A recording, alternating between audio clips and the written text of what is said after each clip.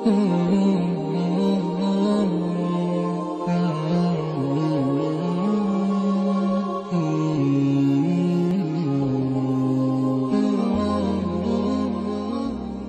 الحمد لله نحمده ونستعينه ونستهديه ونستغفره ونعوذ بالله من شرور أنفسنا ومن سيئات أعمالنا.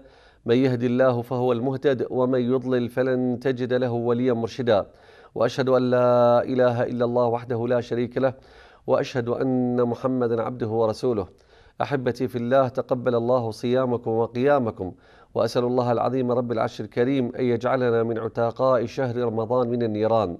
أيها الأحباب الكرام إن من كرم الله سبحانه وتعالى أن مد في أعمارنا حتى أتممنا صيام شهر رمضان المبارك.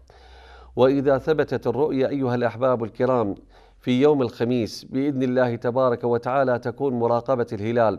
فإذا ثبتت الرؤيا أيها الأحباب الكرام وأعلن عن ثبات رؤية وأن يوم الجمعة هو يوم العيد فلا بد للمسلم أن يعمل أعمالا كان يعملها النبي صلى الله عليه وسلم استعدادا ليوم الجائزة وهو يوم العيد. فما إن يعلن عن ثبوت الرؤية إلا ويبدأ المؤمن بالتكبير والتكبير سنة من سنن المصطفى صلى الله عليه وسلم وفيها تعظيم لشعائر الله عز وجل.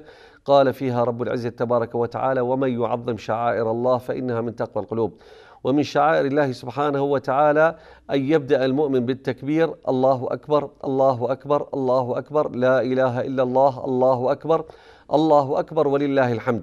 ما أن يكون غروب آخر يوم من رمضان وثبوت الرؤية إلا ويبدأ المؤمن بالتكبير ولا ينقطع عن التكبير إلا في وقت الصلاة أو في وقت النوم أو في وقت الراحة. في السيارة ماشيا إلى المسجد ماشيا إلى أي مكان جالسا عند أهله يكبر الله سبحانه وتعالى. ومن سنن العيد أيها الأحباب الكرام التي حث عليها النبي صلى الله عليه وسلم الاغتسال ليلة العيد أو في فجر صبيحة يوم العيد. فلا بد للمسلم أن أن يطبق هذا الهدي هذه السنة المباركة بأن يغتسل وأن يلبس أحسن الثياب وأن يتطيب. ولقد كان النبي صلى الله عليه وسلم يلب له حلة خاصة يلبسها صلى الله عليه وسلم يوم العيد.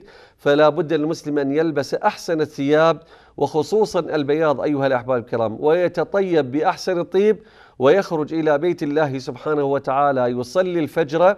ثم بعد صلاة الفجر يبقى يكبر الله سبحانه وتعالى حتى يدخل الإمام في صلاة العيد. ومن السنن أيها الأحباب الكرام كذلك أنه في يوم العيد بعد صلاة الفجر لا بد للمسلم أن يأكل تمرات وهي كناية عن الإفطار. فلقد كان محرم عليه أن يأكل بعد الفجر في الأيام الماضية في شهر رمضان. لا بد للمسلم أن يأكل تمرات بعد صلاة الفجر وهي كناية عن الإفطار والاستعداد ليوم العيد. ومن سنن النبي صلى الله عليه وسلم كذلك أيها الأحباب الكرام يوم العيد أن لا تترك صلاة العيد. فبعض الأحباب الكرام يتوجهون في فجر يوم العيد إلى المقابر لزيارة أحبابهم ممن فقدوهم آبائهم أمهاتهم إخوانهم أخواتهم. وهذا من الأمور التي خالف فيها كثير من المسلمين. هدي النبي صلى الله عليه وسلم. فلا بد للمسلم أن يحضر صلاة العيد وأن يحضر خطبة العيد وأن لا يترك الخطبة لأن فيها خير كثير. بعض الأحباب يخالف فيترك الخطبة ويقول أنها سنة ثم ينصرف إلى إلى داره. والأجدر به أيها الأحباب الكرام أن لا يترك صلاة العيد ولا خطبة العيد.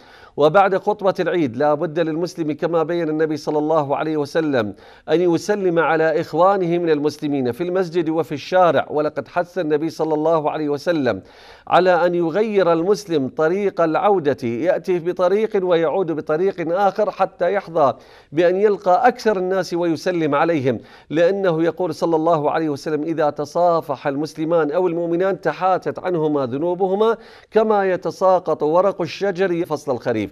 فلا بد للمسلم أن يحظى بهذا. ثم بعد ذلك أيها الأحباب الكرام من توصيات العيد لا بد للمسلم أن يصل أرحامه وأقاربه فإن الرحم معلق بعرش الرحمن يقول اللهم صل من وصلني واقطع من قطعني.